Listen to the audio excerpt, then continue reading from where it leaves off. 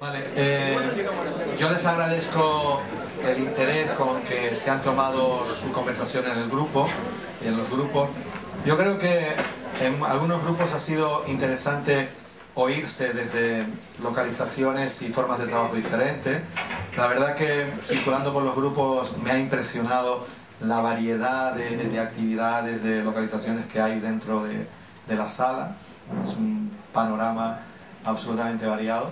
Y yo creo que eso también da una enorme riqueza porque hay múltiples experiencias, múltiples localizaciones, múltiples posicionamientos políticos también y múltiples relaciones de dependencia también con otras instituciones y con otros lugares. Y además ustedes ejercen una variedad enorme de, de trabajos dentro del campo de la educación, formal, informal, etc. Entonces, eh, hay una primera idea que, me gustaría destacar de cosas que he oído, para luego darles el micro a ustedes y que ustedes lo comenten.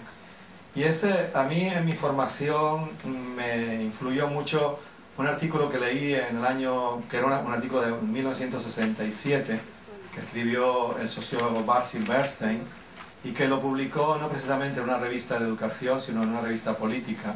La revista se llamaba New Society en una revista de la izquierda británica, y escribió un artículo que para mí fue fundacional y, ya digo, en el momento de mi formación en Inglaterra fue esencial. Y el título del artículo era traducido, La escuela no puede compensar por la sociedad. ¿Mm? Yo creo que esto a veces lo olvidamos. La escuela no puede compensar por la sociedad. Yo creo que esto es algo que lo olvidamos a veces, ¿no? No, no, pero que, lo sentimos que, que, no olvidamos en cuanto a individuos, pero sí como en los discursos que se hacen, ¿no? Y en todo lo que se coloca en la escuela. O sea, en todo lo que se tiene que hacer desde la escuela, que se tiene que cambiar desde la escuela, lo que se tiene tal. Pero la escuela no puede compensar lo que no se hace fuera de la escuela. Y esto es indudable. Entonces, como esto ustedes lo saben, se los digo y se los recuerdo para tranquilizarlos ustedes lo saben. Y sobre todo para, para, la cura que a veces nos viene de la, de la impotencia con la omnipotencia. ¿no? Ese tránsito entre la impotencia, lo que no puedo lograr hacer, y la vacuna frente a la omnipotencia. Si lo quiero hacer todo, pero lo, lo único que puedo hacer es ofrecer experiencia genuina a los individuos con los que estoy. Y eso es lo más que podemos posibilitar, porque luego Mm, la escuela no cambia la sociedad, pero sí que sigue siendo uno de los pocos espacios de equidad que tienen los sujetos, sobre todo en la escuela pública, y a lo mejor para poder ser otra cosa de lo que están determinados a ser. Entonces, a partir de eso, claro, con la educación de las artes pasa exactamente lo mismo. Eh, cada vez más eh, hay políticas en los países que intentan considerar que el puente entre la sociedad y la escuela fluya de una manera mucho más estable que lo que suele fluir. no podemos engañarnos que la mayoría de las prácticas artísticas continúan siendo la distinción de Bourdieu, prácticas que conforman un sentido de clase social. La mayoría de las prácticas son para un grupo social. Los museos están esencialmente abiertos y las actividades culturales y los lugares de concierto para un tipo de grupo social. El teatro está configurado para un grupo con tipo, la danza para un grupo. Entonces, el tema es cómo se pueden comenzar a crear flujo entre esas instituciones y las escuelas. No, y esto es muy importante, con ánimo paternalista. Porque hay muchas políticas que son profundamente paternalistas, incluso hay muchas políticas que son profundamente excluyentes. Es decir, se invita a las instituciones artísticas a los grupos, pero desde posiciones excluyentes. O sea, estas funciones específicas a las 9 de la mañana para determinados grupos, además que tienen que entrar en fila india para que no rompan el teatro, ¿eh? yo, creo que eso, eh, bueno, se necesita tiempo, pero que son prácticas que hay que, que hay que revisarlas profundamente, porque son prácticas de absoluta exclusión. ¿eh?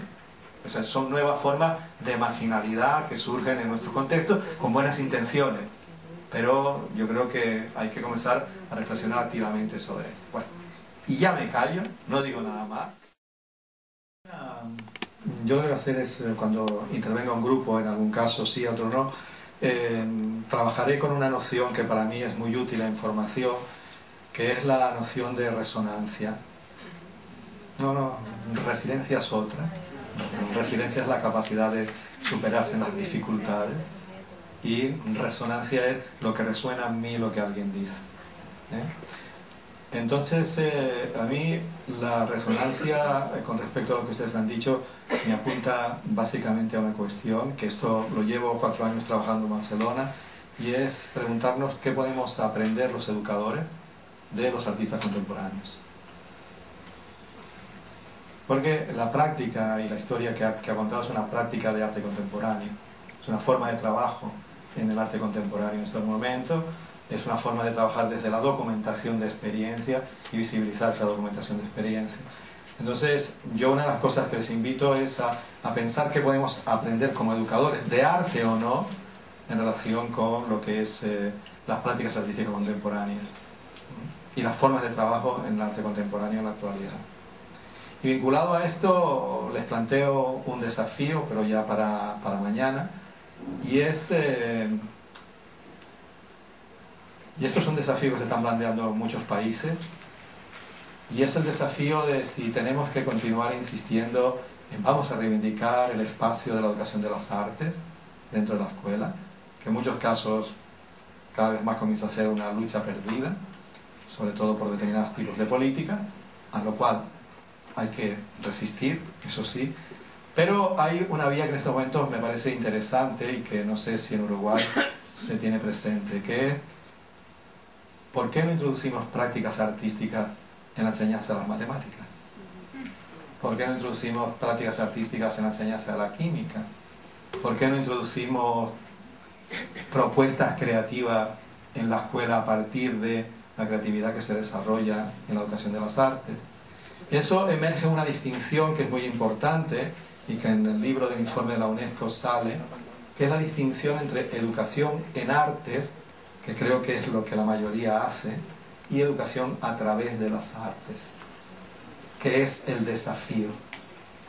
Es decir, ¿cómo puedo enseñar matemáticas utilizando procedimientos artísticos?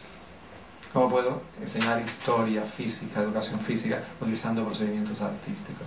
Yo creo que esta es una contribución que está por explorar, es una contribución que está por desarrollar y que tiene muchísimo que ver y muchísimo que nutrirse sobre eh, sobre todo sobre prácticas artísticas contemporáneas.